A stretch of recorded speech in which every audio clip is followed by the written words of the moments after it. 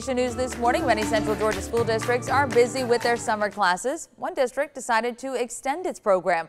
Our morning reporter TJ Anthony joins us in studio to tell us a little more why. Good morning, TJ. Good morning, Caitlin. Yeah, that's right. This is the first year that the Georgia milestone tests are back since the pandemic, and it's considered and whether students are able to move on to the next grade level across Georgia. Now, some students received unsatisfactory grades, which caused them to take summer classes.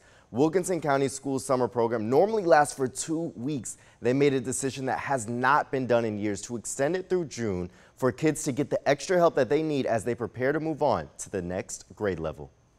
After talking with our administrative team and our cabinet, we felt like that if we could keep those kids for the entire month of June, that we could really improve math and literacy in terms of those foundational skills that we feel like they need going into the next grade level and they're working with around 200 kids pre-K all the way through eighth grade. Now, as far as teachers go, the district says that the staff depend. The district says that the, the teachers' staffing depends on how many children are in each school.